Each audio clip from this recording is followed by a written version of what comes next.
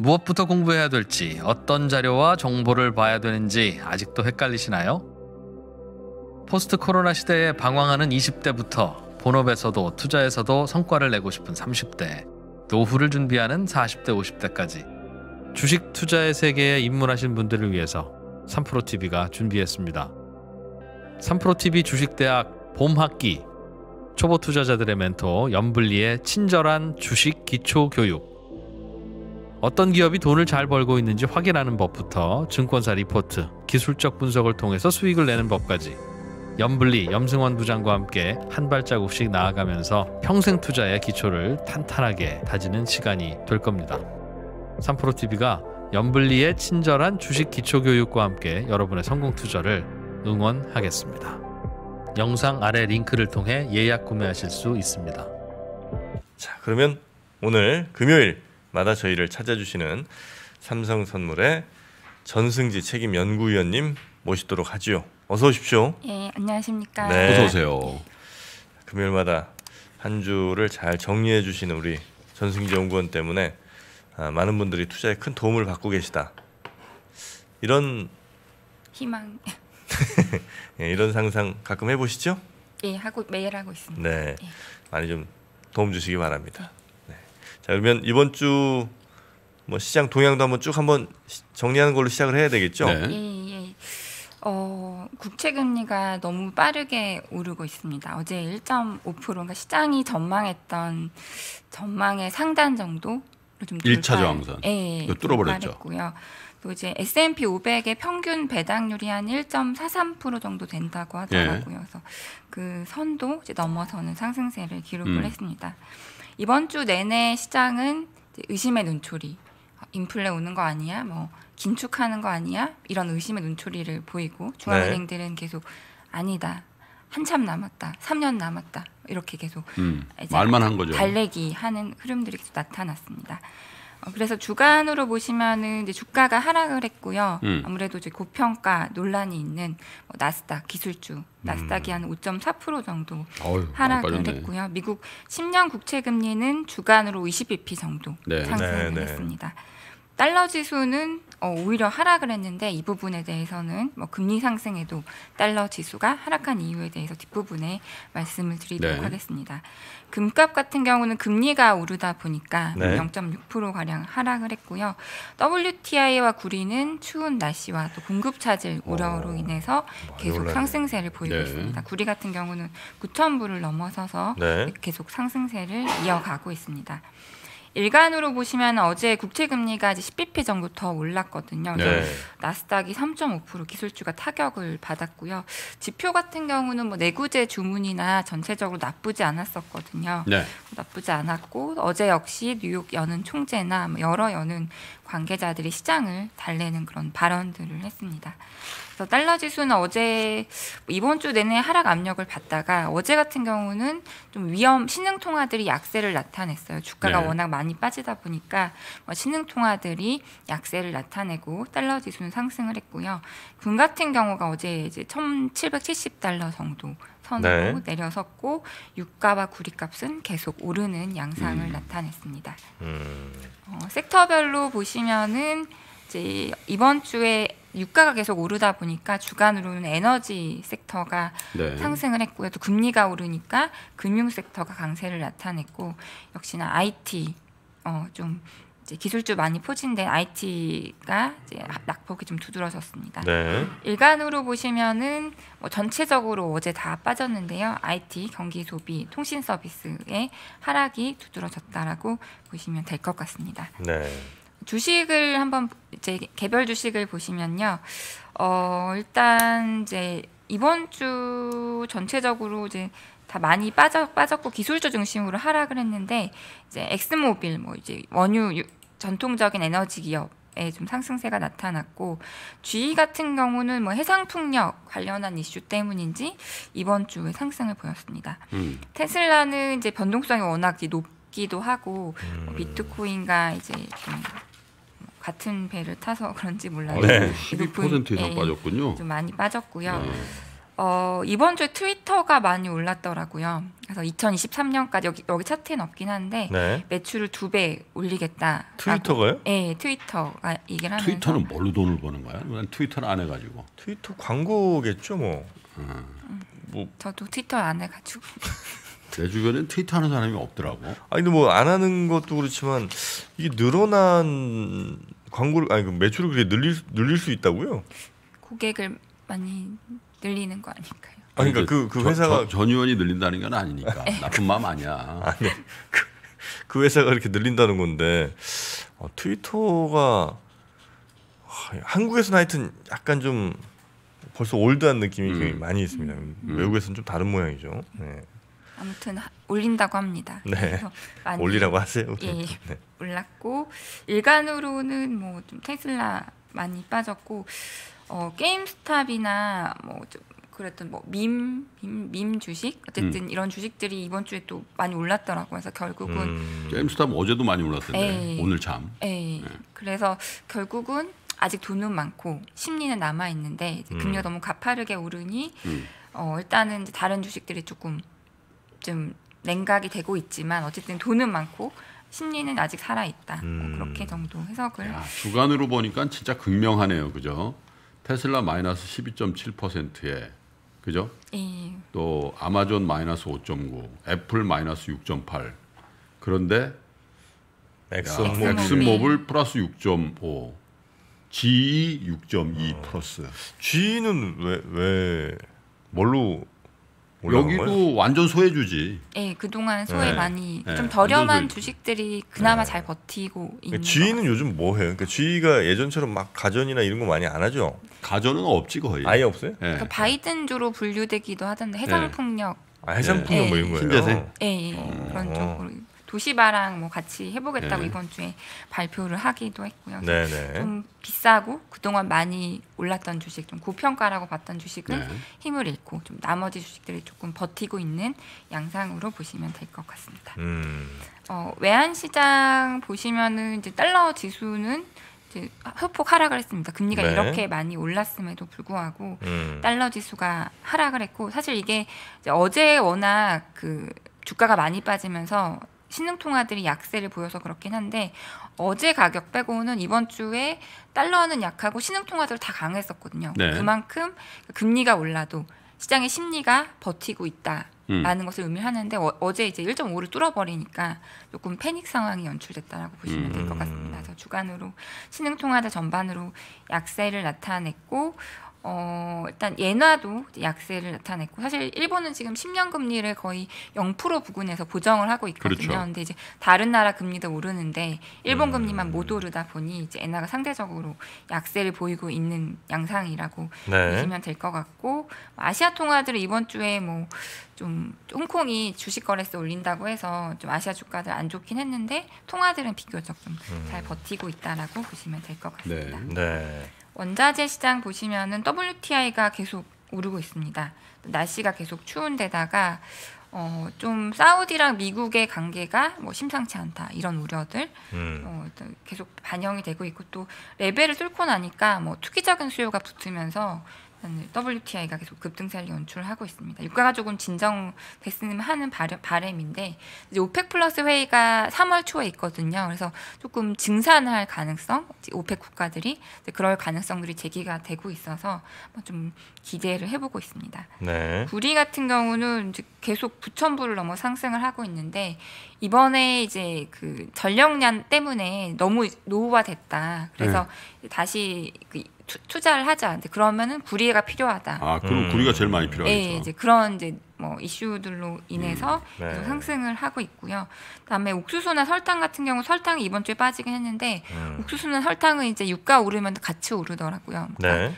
옥수수에서 에탄올 뺄수 음. 있고 사탕수수에서 설탕하고 에탄올을 뺄 수가 있는데 음. 이제 유가 오르면 에탄올 빼느라고 설탕을 덜 빼기 때문에 네. 설탕이 오른다. 이제 그런 논리로 이제 일단 뭐 곡물 네. 가격도 같이 오르고 있는 양상입니다. 원자재 이런 거 원자재나 뭐 상품 이런 것들을 우리가 또 꼭 봐야 되는 게 반드시 뭐 내 이 투자는 안 하는데 상품 투자 안 하고 선물 투자 안 하는데 무슨 봐서 뭐 할래 뭐 이런 분들도 계시겠습니다만 이거 하나 하나가 사실은 뭐 주식의 어떤 분야에 굉장히 또 많은 아, 영향을 그럼요. 미치지 않겠습니까? 뭐 대두 설탕 이런 것들은 뭐 어, 당연히 시, 식음료라든지 뭐 이런 데 많은 영향을 줄 거고 천연가스나 뭐 이런 것들도 에너지 기업들이나 음. 이런 데 많은 영향을 미치기 때문에 여러분 이런 뭐 주간 동향이라든지 흐름 같은 것들도 꼭 체크를 좀 해두셔야 아, 아주 네. 중요한 시간이라는 겁니다 지금이. 예. 자 어, 예, 아주 중요한 순서를 하고 계시다는 거를 네. 우리 전승지 연구원도 책임감 갖겠습니다. 예 까먹으시면 안- 책임감 있으신가 책임 연구위원이신 거죠? 말씀 중간 하나 드려. 제가 좀 중간에 드려도 되나요? 네네. 네. 제가 승, 수석이 되긴 됐는데 수석이 언제? 안된 것안된 것과 같은 상황이 왜? 연출이 예, 네. 그러니까 한 진급을 하신 거죠, 그러니까 수석으로. 됐는데 네. 예, 근데 올해부터 저희 직급 체계가 변해가지고요 네. 책임하고 수석을 합치기로 했습니다. 에이, 그래도 그 내부적으로 승진한 거면 승진하지. 축하합니다. 네. 아 이게 승진을 저희 하셨는데 회사의 반 이상이 수석이 됐습니다. 아 이거 아 이거 좀 아쉽네. 그러니까 대리에서 과장이 되는데 아 대리부 과장이 다 같이 그냥 과장으로 아니, 가 이렇게 한다는 안 거죠?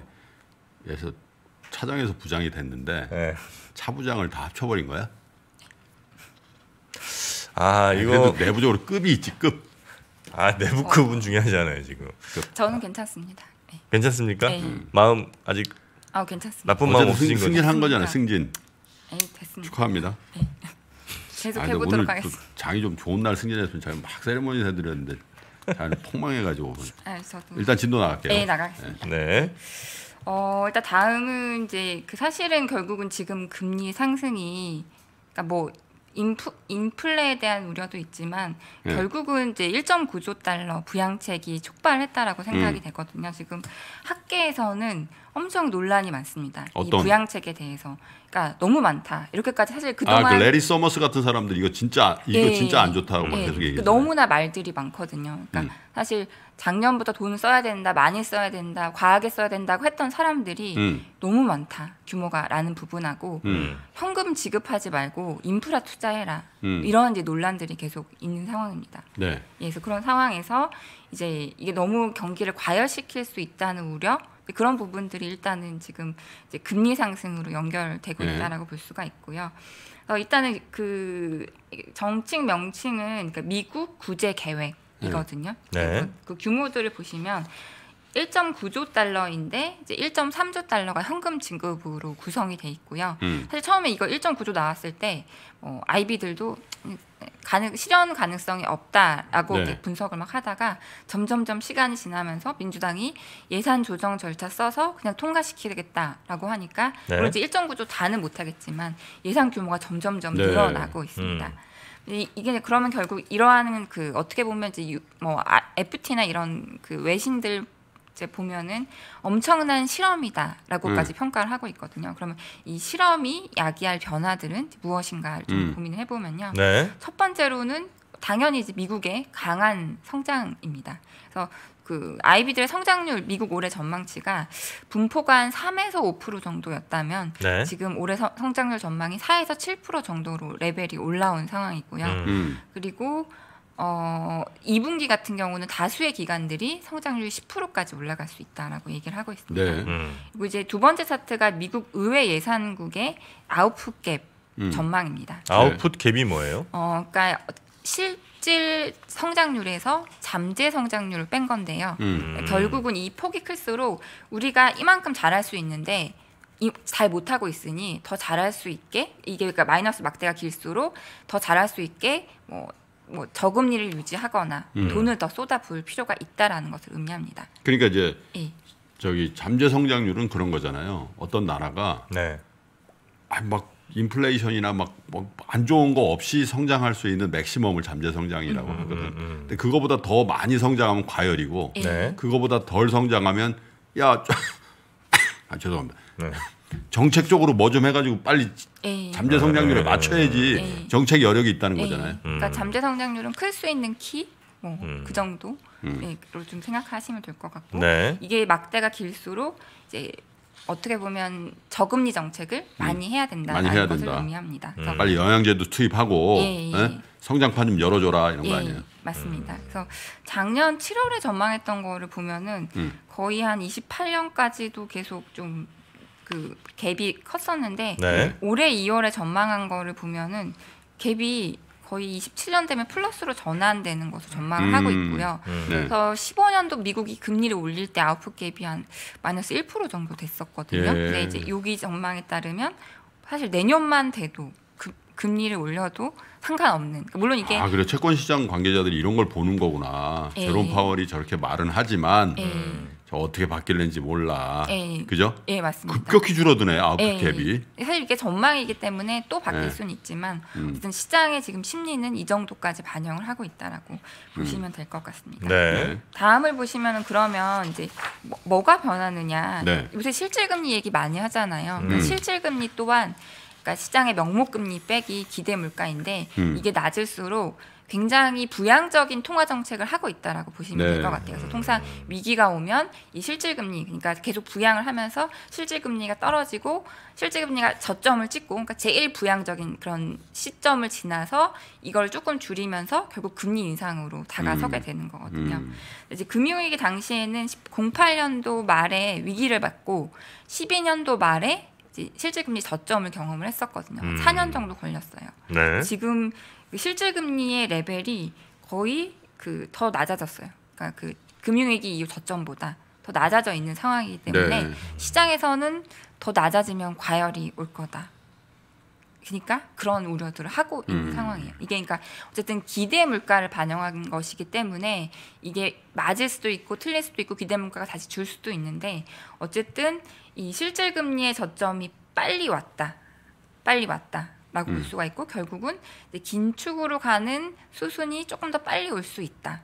이렇게도 생각을 네. 해볼 수 있을 것 같아요. 음. 다음은 이제 재정 확대, 재정 증세에 대한 논의인데요. 사실 네. 이번에 그 재정 확대 계획이 1단계와 2단계가 있습니다. 1단계가 1.9조 달러 구제 계획이고 2단계가 이제 경기 회복 계획인데 여기는 증세가 있습니다. 증세도 사실은 그 이번에 예산 조정 절차를 통해서 민주당이 원하면 할 수는 있거든요. 사실 증세에 대해서 좀 아이비들은 아, 설마 당장 하겠어라는 생각들을 했었는데 이렇게 부양을 하면 증세가 올해 말 정도 얘기가 나올 수 있다. 음. 뭐 그런 생각도 해볼 수가 있을 것 같고요. 음. 과열을 막기 위해서 워낙 이제 과열시켜 놨기 때문에 이제 증세를 빨리 할 수 있다. 그래서 결국은 이제 모든 사이클이 조금 압축적으로 될 수 있다라는 것을 의미하고 제가 그래서 그럼 이게 누구한테 나쁠까 계속 이제 고민을 좀 해봤어요. 음. 고민해봤는데 그러니까 어- 쉽게 생각을 해보자면 이게 적절한 비유일지 모르겠는데 네. 어느 마을에 그러니까 마을에 수능 시험을 앞두고 유능한 선생님이 딱한분 계세요. 음. 그분은 A의 엄마예요. 음. A 엄마고 수능 시험을 1년 남겨놓고 아이들 다 같이 이제 공부를 막 시키는 거예요. 근데 음. A는 혼자 막 문제집 나- 딴 애들 한 권 풀 때 두 권 풀고 혼자 너무 막 열심히 한 거예요. 네. 시험 시험이 6개월 남겨두고 A 선생님 A A가 공부를 거의 다 마치면서 A랑 과, 이 가해 선생님의 엄마가 떠나는 거예요.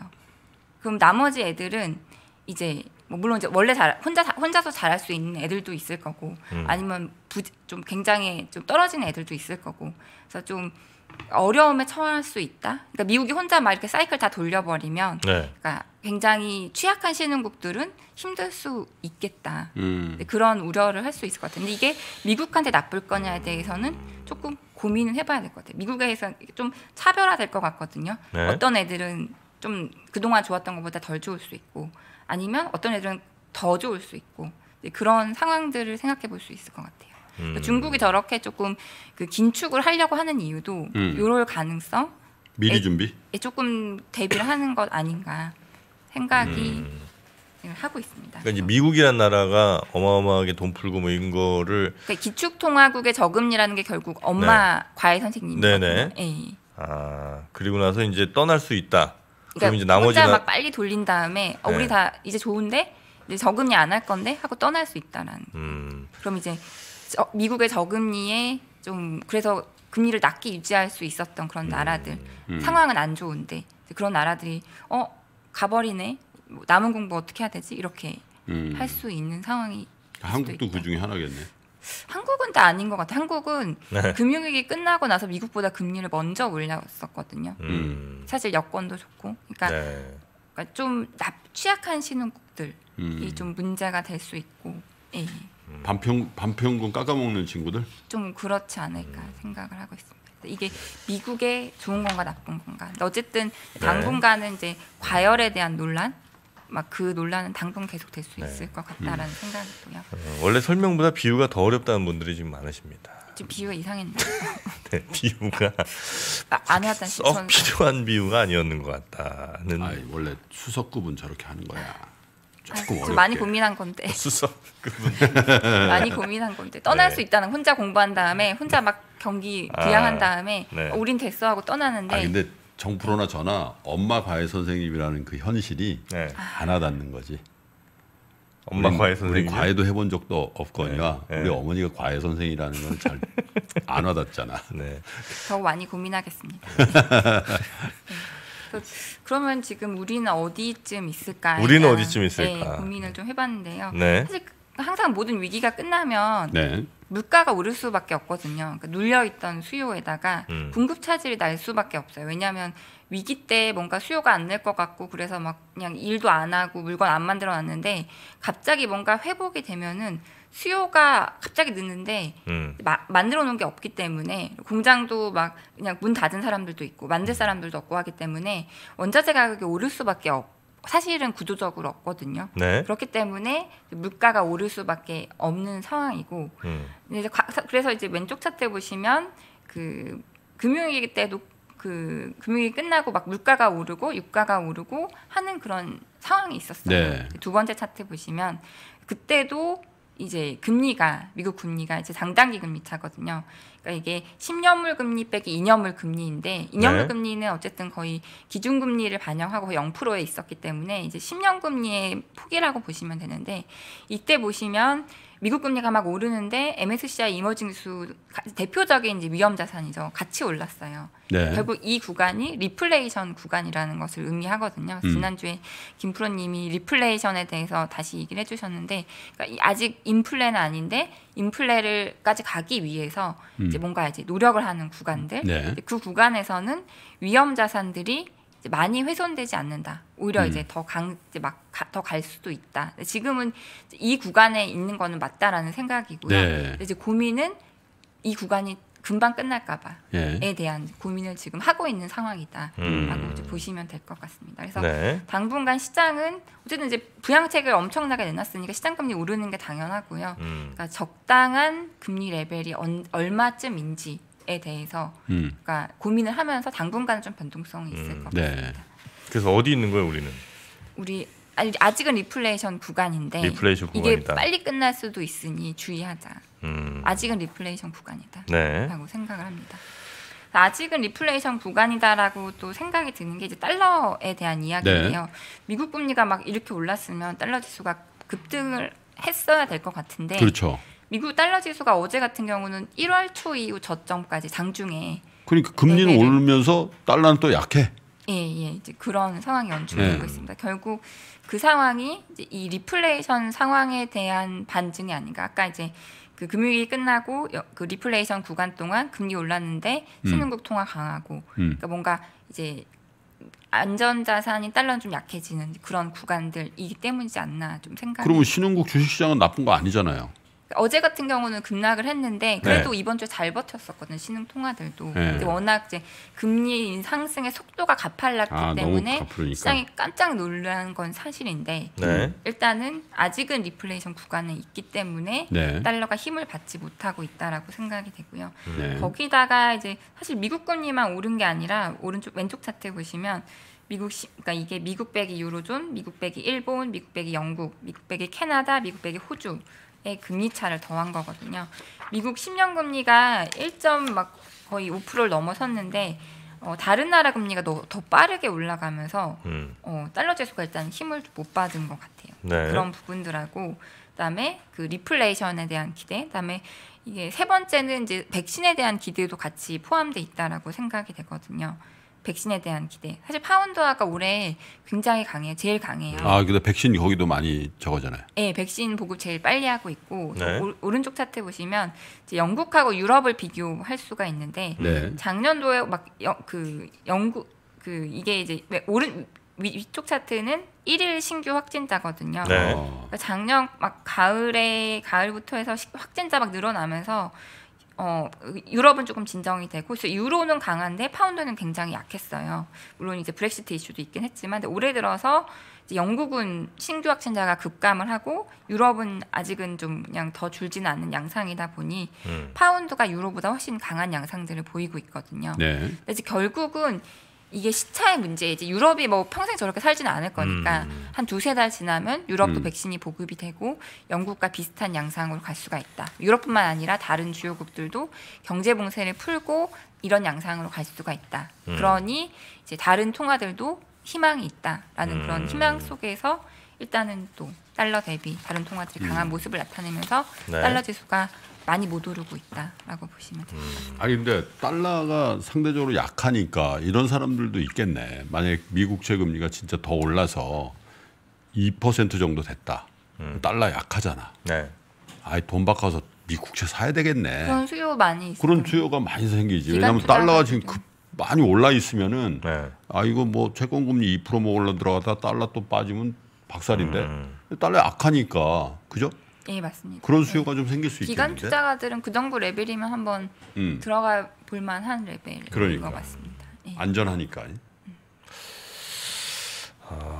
그러면 저는 달러 달러 아 달러도 ETF가 있죠? 예 있습니다. 음, 예. 달러 ETF라면 들어가야 되나? 어, 그러니까 달러는 지금 보실 때 약세인데 약세 기조가 계속 그 저는 이렇게 생각을 하고 있거든요. 네. 이렇게 했다가 올라갈 걸로 생각을 하고 있는데 언제쯤 올라가요? 지금은 저점을 탐색하는 구간. 그래서 네. 막 백신이 보급되고 뭔가 다 같이 분위기 좋아지는 구간쯤에 저점을 네. 확인하고 네. 이제 미국 부양 미국이 이렇게 부양책 효과가 나오고 네. 아까 말씀드린 그 사이클이 조금 이렇게 축소될 수 있다. 네. 미국이 생각보다 빠른 시점에 테이퍼링을 얘기할 수 있다라는 그런 진짜로 지금 그냥 우려감이고 네. 그런 우려감이 생길 때쯤 그 스물스물 다시 올라올 수 있다. 달러가? 예, 근데 하반기쯤으로 생각을 하고 음. 있습니다.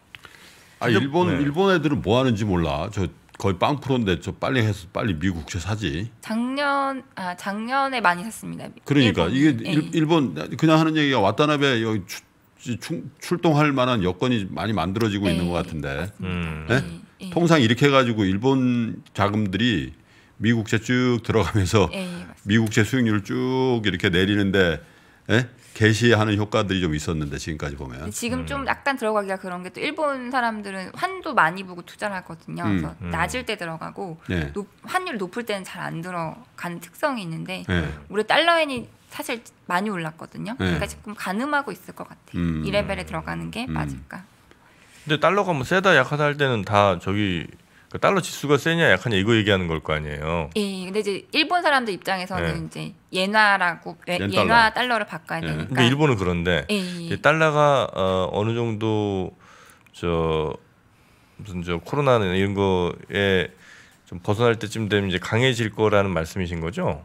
맞나요? 그러니까 좀 완전히 벗어나고 다 같이 정말 이제 진짜 우리 정상으로 복귀가 될 네. 것 같고 어, 미국이 사실 지금 이거 하고 제, 이게 회계년도에 한 번 쓸 수가 있거든요. 그 예산 조정 절차를. 네. 그래서 10월 이후에 또 다시 인프라 투자 이렇게 나올 수 있을 것 같아요. 저는 음. 그 엄청난 부양책을 계속 쏟아붓는 거거든요. 음, 그럼 국채금리 계속 뜰 수 있다는 얘긴데 좀 오르고 그러니까 사실 지금 그것도 반영을 하고 있는 금리라고 음. 생각은 되는데 네. 그러면 어, 테이퍼링을 조금 고민해봐야 되지 않느냐 생각을 하반기부터 할수 그러니까 인프라로 않을까. 돈 엄청 쏟아볼 때는 달러가 오르진 못할 거고 예. 그러니까 그렇게 너무 많이 풀리니까 이제 테이퍼링을 하면서 그때부터 달러가 오를 수 있다는 거죠. 사실 테이퍼링을 고민하는 시점부터도 사실 달러는 이제 어. 저점을 확인하고 더 안 빠질 수가 있을 거 음. 있거든요.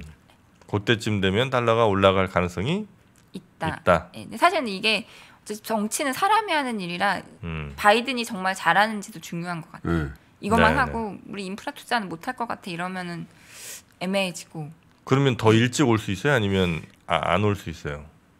덜 올 수 있죠. 덜. 그러니까 덜? 그러니까 사실 이게 정부가 투자를 안 해도 막 음. 민간이 너무 잘해요. 금융위기 때는 사실 그랬거든요. 금융이 네. 끝나고 정부가 조금 이제 진정이 되니까 우리 이제 돈 그만 쓸 거야. 그럼 음. 돈을 뺐어요. 근데 이제 막 그때 막 IT 뭐 이런 거 좀 혁신 기업들이 막 나오면서 뭐 미국 주식 계속 올랐잖아요. 그러니까 그런 상황이라면 음. 그래도 괜찮을 수 있고 애매한데 그러면 정부가 계속 돈을 넣어야 되거든요. 음. 사실 지금 해주길 원하는 거는 그거예요. 막 현금 살포하는 거 말고 네. 좀 투자를 해라 인프라 투자하고 뭐 그린 기업들 좀돈 음. 좀 대주고 이런 걸 원했던 건데 요거 하고 이거 그냥 이거는 좀 동의를 못 얻을 것 같은데 막 음. 그러면서 좀 미루다 보면 또 이제 미국이 진짜 다시 아까 사이클 빨리 돌리고 혼자 끝낼 수 있느냐 못- 음. 못 끝낼 수 있다라는 또 고민을 또 할 수가 있게 되겠죠. 음.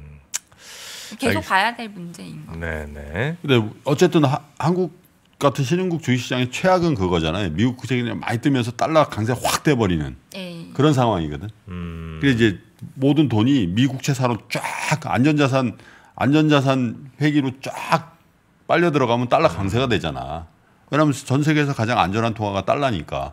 그럼 달러를 뭐 돈을 사나 채권을 살 거 아니야. 그러면서 채권 금리가 쫙 이제 낮아져 주면 그때까지는 좀 버틸 수 있으면 좋은데 네. 지금은 보니까 달러 약세와 채권 금리 상승이 같이 있다는 건 아 더 오를 것 같다고 생각하는 거지.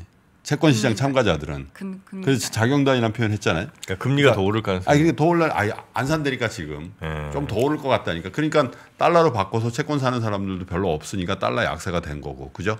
예, 맞습니다. 그렇게 봐야 그런. 측면도 있는 거. 그 얘기는 달러 상승을 더 아니 저 뭐야 미국채 금리 상승에 대한 음. 에, 우려를 더 하고 있다라는 뜻이기도 하네요. 아직까지는 아직까지는. 근데 유가가 좀 저는 빠져주면 조금 진정될 수 있을 거라고 생각이 되거든요. 음. 네. 유가가 아직 한파 때문이기 때문에 음, 날씨 좀 좋아지면 음. 괜찮지 않을까 생각도 되고. 예. 알겠습니다. 그러면 그 상황에서 주식 시장은 어떻게 돼요? 그거는 좀 고민해봐 많이 고민을 해봐야 될 것 같고. 고민은 이제 저는 그만하겠습니다. 인프라 투자 막 많이 하고. 오늘은 정프를 좀 이해해 주셔야 돼요. 지금 극도로 지금 공포감을 느끼고 있어. 아 그러 그러셔서 아니 어제 좀 살아났거든. 네, 고민할 시간이 어제 없어요. 어제 지금. 오후에 약간 네. 괜찮 아 이제 이제 3일 연휴 이제 잘 보낼 수 있나 보다 했는데 아침에 새벽에 딱 보고 나서 지금 음. 아, 보니까 심각합니다 거의- 지금. 아니, 그러지 마. 네. 하루 이틀 한 것도 아니고 맞습니다. 사람.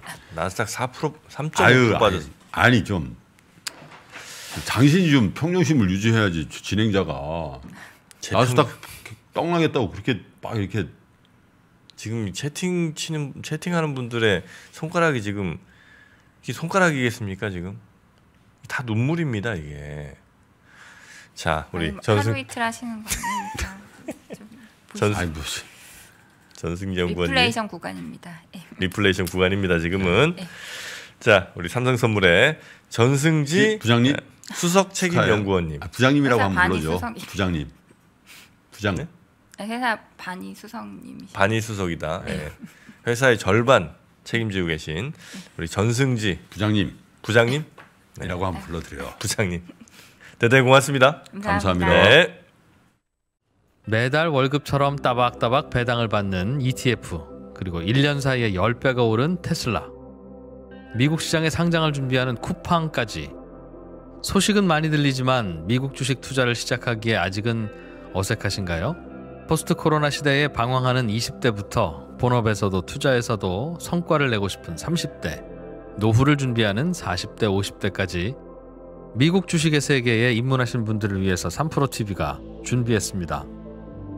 3프로TV 주식대학 봄학기 미국 주식에 미치다 장우석과 이항영의 미국 주식 완전 정복 미국 시장의 제도, 특징, 세금부터 기업의 가치 분석, 포트폴리오 유망 종목까지 장우석 본부장, 이항영 대표와 함께 한 발자국씩 나아가면서 평생 투자의 기초를 탄탄하게 다지는 시간이 될 겁니다. 3프로TV가 미주미 미국 주식 완전 정보 클래스와 함께 여러분의 성공 투자를 응원합니다. 영상 아래 링크를 통해 예약 구매하실 수 있습니다.